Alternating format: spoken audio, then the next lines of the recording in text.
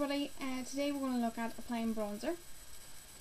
So basically you need three things, your brush, I have an, an Eco Tools one, um, your bronzer, and I'm going to use Nature's Inspiration Bangor Belle.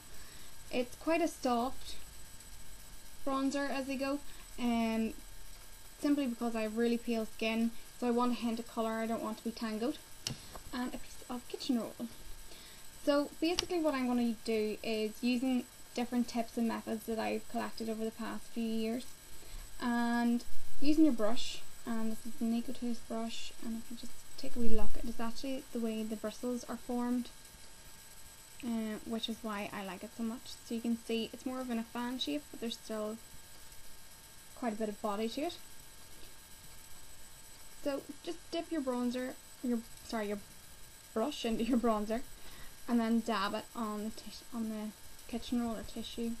And you're just removing any excess bronzer. And spreading it out more evenly among the bristles because you don't want too much bronzer in the one area. Then um, it's actually in a motion of three at either end of your face that we're going to apply. I would always start under the cheekbone um, just because it's is the time we're going to have the most product on the brush. So that's the area that will have the most um, so I would just dab down the cheekbone, underneath the cheekbone, sorry. And you can see it just creates definition in your face whenever you're looking head on. And the thing about it is you can go back and get more product. So it's always best to start with less.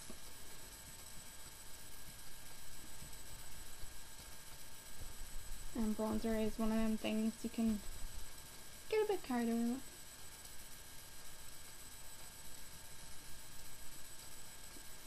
So then, just what I would do is I would bring it down in the jawline. So, instead of actually going back into the bronzer um, pot, I would just go back to the tissue paper. And then you're dabbing along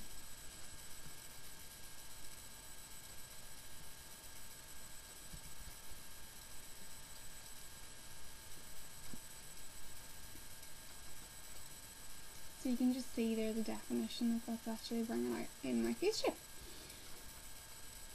Alright, so then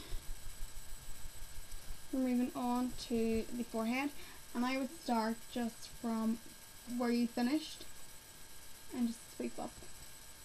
And I would go much lighter in the forehead because you don't want to leave it that you're overly dark.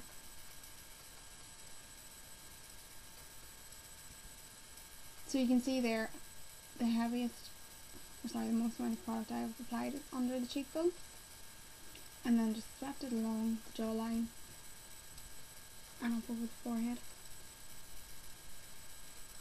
And you can just see the, the contrast there in the, the colour in my face and even it, it makes me look like I have a much more of a cheekbone than I have.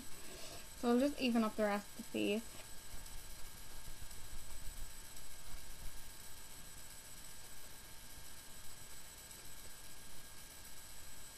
So under the cheekbone, sweeping down, and then up as well.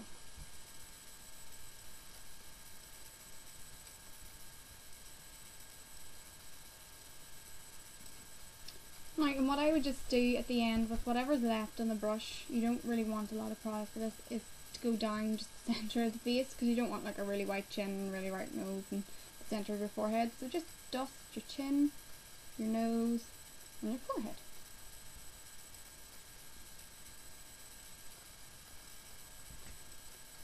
Right, so you can see already the difference that has made and whenever you then add blusher it'll just highlight the features in your face. So folks, um, that's it really. Um, would appreciate any feedback, any tips anyone else has. And I'll chat to you soon. Bye.